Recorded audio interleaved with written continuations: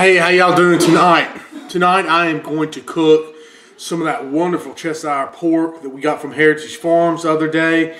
I'm gonna cook this loin they gave me, which has got the bone in, French loin. Let me show it to you. Y'all, I mean, this is a beautiful piece of pork. Gorgeous French loin here. Let me turn over for you so you can see that wonderful marbling. Just look at this. I mean, look at that pork. Look at the color in there. And I hope you can see this, not too much light. And just wonderful marbling. Just tender, tender piece of pork here. This is going to make a beautiful roast. We're going to take it, I'm going to rub it down. We'll make the rub right now. I'm going to kind of rub it down with a little olive oil based rub with some pimenton, a little bit of uh, rosemary out the garden, cracked black pepper, uh, salt, kosher salt. Then we're going to bake it and we're just going to roast it in the oven until it comes to the perfect temperature. Then we're going to take it out. I'm actually going to make a blueberry uh, wine reduction glaze for this. It's going to be a beautiful, beautiful piece of meat here. So what we're going to do now, I'm going to go ahead and we're going to make uh, the rub for it. I have here first and foremost, this is just a little bit of fresh rosemary picked out of the garden. Uh, chopped it up a little bit best I could. I've got a little bit of garlic, minced garlic, about a tablespoon or so of that. I've got some uh, fresh cracked black pepper and some kosher salt. We're going to take this uh, wonderful pimenton or this paprika that Keith Batag sent me. Oh man, I mean this is some beautiful stuff. I mean this. Oh, you got to smell this. It's a uh, it's a smoked paprika hot, which hot means it's very pungent, and you can smell that wonderful smoke on there. That's going to add really a lot of wonderful flavor to this. Just gonna add a little bit of that to it. A little bit more of this. Like I said, it's hot, so it's gonna be very pungent. Don't wanna add too much of that. Now I'm gonna take some olive oil. Have here. We'll just add some olive oil here to this bowl. And we'll mix all this together, and this is what's gonna make a rub that we'll use to rub that, that wonderful pork down with. And remember, I mean, this pork is like it's like Kobe beef to beef, this pork, I mean, this is the best pork in the world.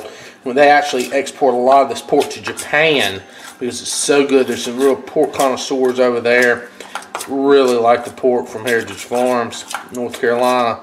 So see that rub, how it gets just wonderful like that. That's what we're trying to make. Let me get the pork back over here. What you want to do, just going to spoon some of this beautiful rub over here. I might have to dig in here and use my hands here in a minute, but basically that's what we're trying to do is just get a, a, coating of this. Oh man, I can smell that pimenton and the garlic. Everything's just smells wonderful on here. Look at that, y'all. Oh, some of that on the sides too. Make sure you get the sides. Get that wonderful glaze on there. And I'll flip it over and do the other side. I've got both sides here done. I'm going to flip it back over to this side and show you and see how wonderful that looks there.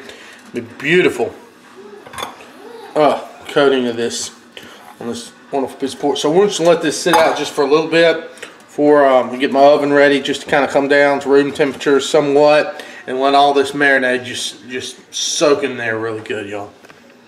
All right, y'all, see what I've done? I kind of covered this thing with a little saran wrap just to keep anything off of it while it sit here. I let it sit out in the can for about 30, 45 minutes, just come down temperature a little bit.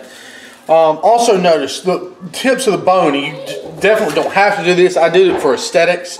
It looked a lot better. I wrapped in foil. That's just to keep those from burning, you know, getting charred all black. But you don't have to do that. That's mainly for presentation.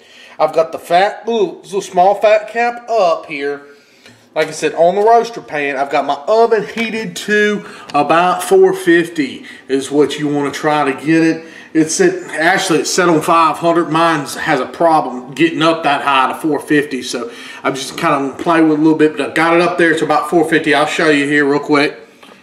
So you've got the oven set on actually 500, but over here, uh, it's my, I don't know if you can see that number or not on there. It's, it's 447. So that's good. That's what we're bouncing here. We'll go ahead. Going to put this in the oven. We're going to let it sit in the oven for 15 minutes at this high temperature.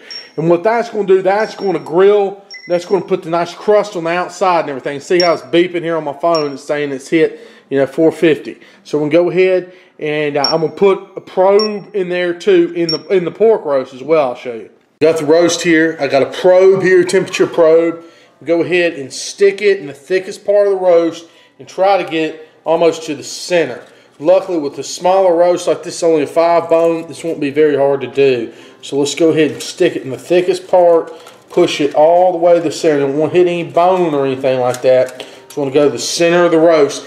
Now we're going to put this in the oven, like I said, on about 450 degrees to 475 for 15 minutes. It's going to give us a good sear on the outside.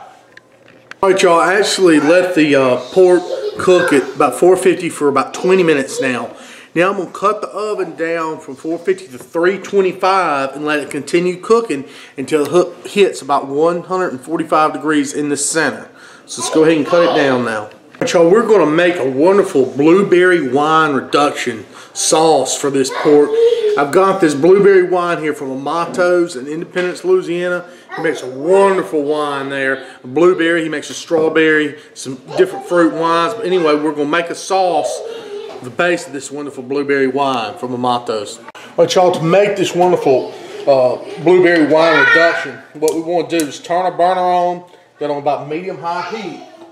I'm going to add a glass of this wonderful blueberry wine. It's about a cup, about eight ounces. Then I'm going to put about a third a cup of Worcestershire sauce. Then we're going to add about another third a cup of, of good balsamic vinegar. Also going to add a third a cup of molasses. Get that in there really good there. I'm going to instantly go ahead and start stirring that. I have this little stir buddy deal I use for stuff like this. Just want to get that all mixed up. Keep stirring it here on this medium high heat. Bring it up to a simmer. Once it starts bubbling, you want to turn the heat down again and turn it back up. Just constantly kind of bringing it up to a simmer and letting it go back down. I've got a few sprigs of fresh thyme. I'm going to put that in there and just let that sit there and simmer with the sauce. I'm also going to throw a little sprig of fresh rosemary in there, y'all. That's going to add the bouquet of flavor here. But see what you're doing, you just bring it up to barely simmer and you keep constantly stirring it. If you can have a little stir like this, and you bring it up to simmer, you just keep stirring here with a spoon. This process to reduce something like this takes about 30 minutes usually. Y'all, now the sauce is simmered for about 25 minutes or so, and it's really reduced a lot. So that's what you want to see. So what I'm going to do, I'm going to strain it off here in this measuring cup. I'll get all that, the thyme and rosemary and stuff like that out of there. And that's fine. And we're not going to finish this sauce. We're going to finish it with a little butter. Don't do that until the pork's almost done. So go ahead and just strain that off there and set this aside for a minute. But y'all, it just hit 145 internal. And I just took it out, out, out of the oven. Ooh, burnt myself there. Um, we're going to go ahead and put it over here on the cutting board. I'm going to tin it with a little foil and let it rest for a little bit, right? You always want to do that. Let your meat rest, especially a roast like this. It's still cooking a little bit internally right now. So I got that there. We get a little piece of foil. Look, that's a beautiful roast right there. What I'm to do, I'm just to tint this with a little bit of foil and let this rest for about 10 minutes or so, 10 to 15 minutes. That thing's going to continue to cook, get everything distributed there as far as the juices and everything. We're going to go ahead and finish the sauce, y'all. Let me get my whisk here. whisk. And go ahead and bring the sauce back up to temperature. I just basically, you know, I'd set it aside and just poured it all in there. This is the sauce base here. This is good so you can do this, you know, pretty far ahead of time and save this base. Then you add your butter to finish the sauce. I've got a stick of uh, with salted butter here on the side. And we'll add that whole stick, just little piece by little piece though, until we can get um, everything incorporated in. So just add a little piece at a time, maybe two like that. And we'll just stir them in, just melt that butter into the sauce. And that's going to finish this sauce. To be really wonderful, y'all. So like I said, just keep stirring. Once I melt these two, I'll add some more in. It'll be really, really good you're doing this, you don't want this sauce boiling hot. You know, you just want to heat up just where you see a little bit of steam and just incorporate this butter in it like that. For the last little pieces of butter I put in, I turn the heat totally off. Use this butter to cool it down just a little bit. So the sauce will just turn out perfect. So just go ahead and whisk this in with the heat off. Oh, we're about to cut this beautiful Cheshire pork. I mean, look at this, y'all. That is absolutely gorgeous. Just want to go ahead and, and, take our first chop off of here now. Oh, I, I just can't get over the beauty of this pork here. I mean, hormone free, all that kind of good stuff. I mean, none of it, just all natural. Look at that beautiful pork right there, y'all. That is unbelievably good. I mean, that, wonderful. Let me go ahead and get this carved up. Go ahead and get some of it plated. We're going to plate it with some of that sauce, maybe some polenta, I'm thinking. It'd be wonderful for this, this beautiful Cheshire pork here from Heritage Farms. Y'all, you cannot beat that. That is gorgeous. So let's plate up some of this beautiful Cheshire pork here from Heritage Farms. A little bit of polenta there on the plate. To use just to plate this up with. I think that'll get really nice with this pork. Oh my gosh, y'all, this is it's unbelievable how good this stuff smells right now. I'm going to go ahead and get this plated up. Also going to put a little bit of that, that blueberry uh, wine reduction on there too. I be really nice. We'll just go with a little bit of the blueberry wine reduction over the top like that. Oh yeah, this is gorgeous. Oh, drips down that polenta a little bit. Get some sauce right there around the back.